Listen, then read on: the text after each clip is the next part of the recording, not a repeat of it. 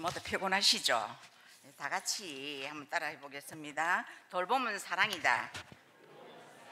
약합니다. 다시 돌봄은 사랑이다. 돌봄은 사랑이다. 자, 지금까지 계신 분들은 모두 행복하십니까? 여러분 행복하세요? 예, 행복하려고 하면 뭘 해야 돼요? 사랑을 해야 행복하겠죠, 그죠?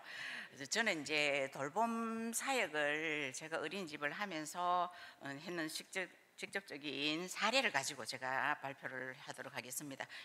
PTP는 없습니다. 왜 마지막 시간이라서 너무 지겨울 것 같아서 제가 가능하면 짧게 하도록 하겠습니다. 우리나라가 이제 1982년 전두환 대통령 때부터 해가지고 새마을 유아원이 만들어졌습니다. 그게 93년도에 폐지되면서 어린이집으로 전환이 되었는데 그 전에는 우리 한국 교회에서 성교원을 많이 했어요. 저희 아이들도 성교원 출신들이고 이러는데 어린이집으로 바뀌면서 성교원이 문이 닫게 되, 문을 닫게 되고 그 바람에 신앙 교육들이 많이 이제 없어졌는데 저는 그 부분을 정말 한국 교회가 어, 좀 많이 음, 실수했다라는 생각을 하는데 그때 어린 아이들이 7세 0세에서 7세까지가 내 교육에서 바란스 교육이 거의 한 80%는 형성이 된다고 봐야 되는데 그 시기에 신앙 교육이 안 들어가면 세상 교육 가지고는 아들이 가치관 정립이라든지 신앙관이라든지 영적인 부분이고 가치관이고 이런 부분들 세계관이고 성경관이고 다 바른 교육 되기가 좀 어렵거든요. 그러면서 저는 이제 교회에서 성교원도 좀 맡아가 하고 일을 하다가 아 이래는 안 되겠고 제가 어린이집을 해야 되겠다 싶어서 강 크게 어린이집을 시작을 하게 됐는데 그때 하필이면 우리나라의 가장 위기 중의 위기인 1997년도 IMF가 됐었어요. 12월 1일 날 제가 어린이집을 하게 됐는데 12월 1일부터 우리나라가 IMF가 돼가지고 우리나라가 완전히 변하고 오게 된 겁니다. 그래 되니까 그 저는 지금 내당동에 우리 은행 뒤에서 어린이집을 했는데 그때 그 앞에 도로에는 보면 거기다가 보험회사가 많고 식당 다니는 엄마들이 실리맨들이 많은데 아이들을 보내다가 직장을 잃으니까 아이들을 보낼 수가 없는 사정이었고 저는 처음에 이제 어린이집을 뭐 하다가 보니까 이걸 어떻게 해야 되는지도 모르고 또 교회 일만 계속 하다 보니까 돈벌이에 대한 개념이 별로 없었어요. 근데 어린이집을 딱 하니까 아이들이 돈이 없어서 못 오는 거예요. 지금은 제도가 너무 잘 되어 있어서 우리나라 뭐 아이들 거의 다가 무상교육이 다 되잖아요. 근데 그때만 해도 90년대만 해도 그렇지 않았고 정말 저소득층 아니고서는 어려운데 제가 어린이집을 딱 맡아가 딱 들어가니까 11개월 되는 아이가 엄마 아빠가 사업에 부도가 나서 국민 호텔로 들어가게 됐습니다. 그래서 이 아이가 맡길 데가 없었어요. 맡길 데가 없어서 시작하자마자부터 제가 그 아이를 업고 다니면서 국민 호텔이 어딥니까? 아시겠죠, 그죠? 그래서 업고 다니면서 아이를 이제 키웠는데 이 아이가 지금은 이제 대학 나와서 작년에 전화가 와서 이 어머니한테서 원장님 너무 고맙습니다. 그래서 뭐가 그래 고마우냐고 얘기를 하니까 우리 딸이 대한항공에 취직을 했는데 대한항공은 취직해가지고 3개월 연수를 해야 된대요. 3개월 연수 딱 끝나고 내일부터는 정식 직원이 됐기 때문에 이 기쁜 소식을 원장님한테 알려주고 싶다고. 그래서 제가 아우 진짜 저도 너무 보람도 가졌는데 그렇게 해서 어린이집을 그 내당동 주위가 조금 이렇게 저소득층이 좀 많은 편이거든요. 서구 쪽이가.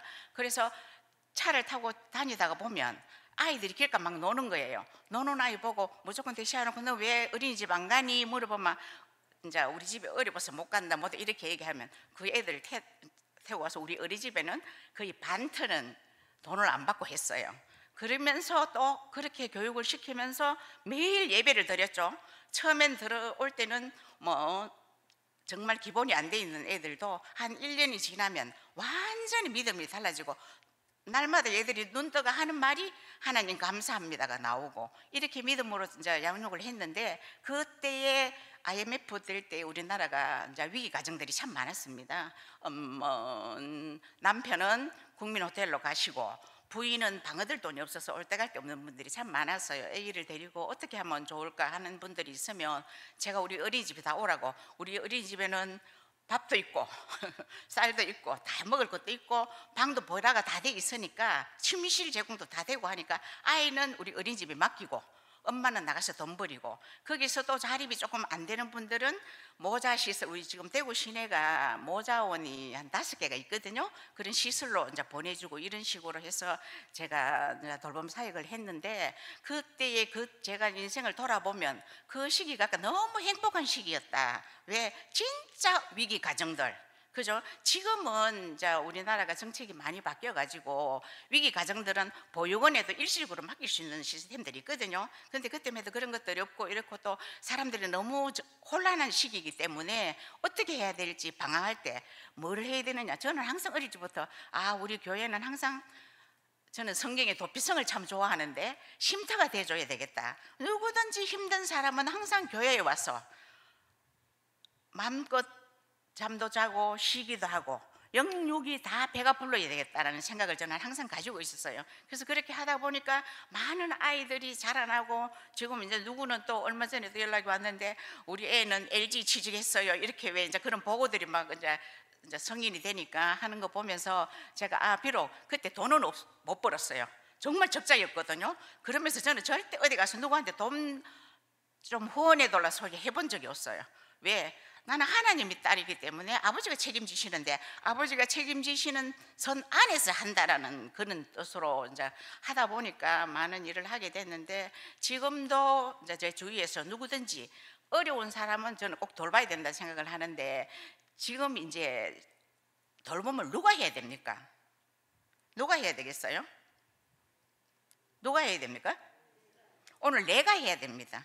자, 우리 사랑은 우리 우리는 하나님의 사랑을 그냥 받았기 때문에 하나님께서는 분명히 말씀하시기를 마음을 다하고 목숨을 다하고 뜻을 다하고 힘을 다하여 누구를 사랑하고 하나님을 사랑하고 내 이웃을 내 자신과 같이 사랑하라 그랬습니다. 그러면 우리는 하나님 앞에 기도는 잘합니다. 하나님 정말 은혜 감사합니다 하고 나는 과연 내 삶에서 얼만큼 이웃을 사랑하는지 우리가 한번 돌아봐야 되지 않겠나 생각을 하고요.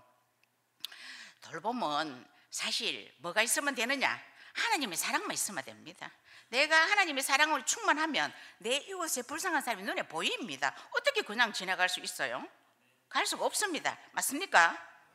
예. 자, 돌봄 누가 한다고요?